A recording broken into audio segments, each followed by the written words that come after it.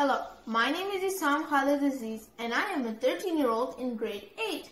Today I will be telling you more about the science behind rainbows. Well, why did I want to do this anyways in the first place? Well, I wanted to do this because I wanted to take part in the Dr. Abdus Salam Science Fair as well as answer a bunch of questions which I had answered for a very long time. Well, how did I get interested in this topic? I got interested in this topic by always seeing a rainbow when I was little and never actually taking the time to actually answer the basic questions. Well, why does a rainbow appear? Where does it appear? How can it appear?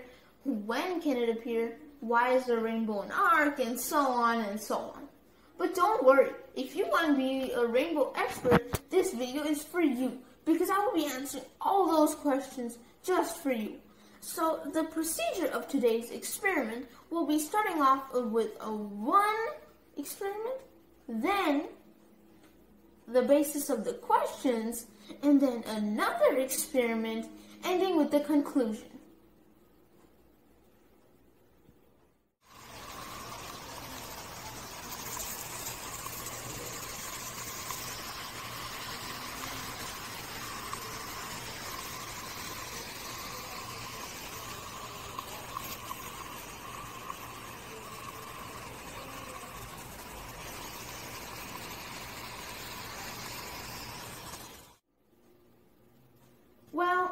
You saw the experiment that I just showed, based off of that, how does a rainbow appear through water?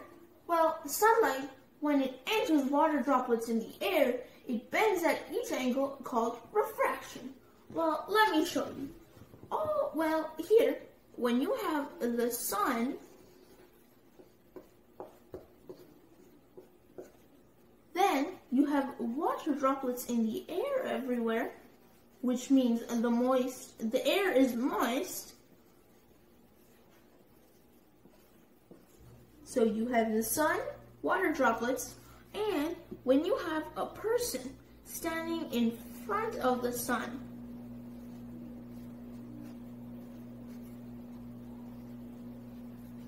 well, then sunlight, when it enters each water droplet. It splits up, bending at each angle.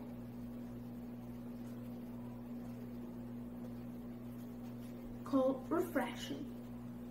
Then it comes out, splitting up all the colors slowly, slowly, which then is shown to the human eyes. Well, now it's not going to bend at any angle anyways it's going to bend around at the angles around the human.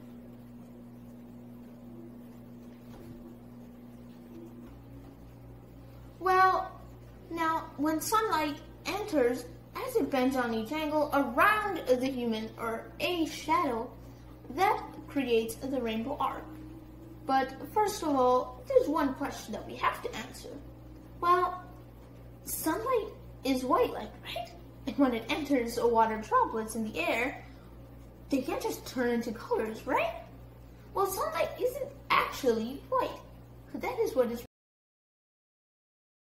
prior to the human eye. Sunlight is actually all the colors. We can't just see it because sunlight are heat rays. If we were to see all the colors of the rainbow, the heat rays, we would end up seeing warm places, cold things, and whatnot, which we don't need to see. But how come we can see this color and this color and this color? Well, aren't actually heat rays. These are foam, fabric, other things. So then that question has been answered. Well, why is a rainbow an arc? A rainbow isn't actually isn't an arc a rainbow is a full circle. We can only see an arc because that is what uh, we, that is because the horizon comes in the way. Well, if you are want to see a full rainbow, a circle, then be sure to go on a plane on a very sunny day, and you will see the rainbow as a circle because a horizon won't come in the way. Well, does each color of the rainbow have its has its own heat? Well, actually, yes. Let me demonstrate. Well, all you need for this experiment is some gummies. I chose red and green. Some filters. You can use plastic and color that. And any source of light. I'm using a flashlight on the phone. So I have my torch. I have my lens. So let's start off with the red lens. All you do have to place it on and then shine it through the gummies. You see, it doesn't really shine through the green gummy, but if you bring it to the red, it passes through both. And let's show with the green filter.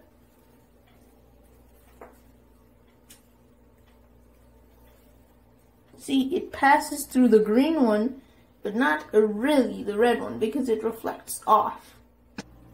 Now, based off of that experiment, each light absorbs its own color. For example, green leaves on a tree, when sunlight shines on them, green leaves, they only absorb the green color of the sun, the green rays, which means it takes only a certain amount of heat. If you were to wear white outside, white clothes, or anything white, that would take the least amount of heat. But black would take a lot, the most heat. Why? Because that is all the colors mixed. So each color has its own heat. Now, ending off with the conclusion, well, what is a rainbow anyways? A rainbow is a meteorological phenomenon, which means it can be explained by science. And it is, an, it is also a mythical representation of itself. Because when you go near it, you can't really see it because it reflects around you. You can't touch it, you can't go through it, and uh, there is no jackpot at the end of the rainbow. So if you want to go get that jackpot, let me just tell you, rainbows are endless. And with that being said, I hope you learned something new, took something in, and I hope you can share this with your friends. So, as you know, always goodbye.